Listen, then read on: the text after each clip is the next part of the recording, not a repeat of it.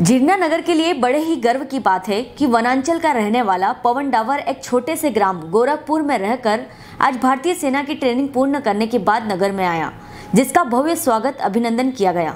ढोल ताशों के साथ में देश का ध्वज लहराते हुए देशभक्ति के गानों पर थिरकते नौजवानों से माहौल देशभक्ति का हो गया। साथ ही भारत माँ के चरणों में सेवा के लिए समर्पित पवन ऐसे युवाओं के लिए प्रेरणा स्रोत है।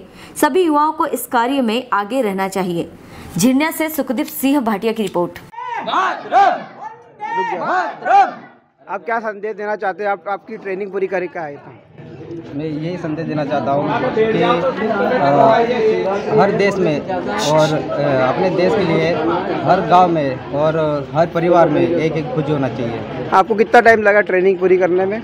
मेरी ट्रेनिंग करने पूरी करने में कम से कम अठारह महीने लग गए। हेलो फ्रेंड्स आप देख रहे हैं हमारा channel S W twenty four news हमारे सारे वीडियो सबसे पहले देखने के लिए आप हमारे चैनल को सब्सक्राइब करें और पास में लगे बेल आइकोन को दबाना बिल्कुल भी ना भूलें।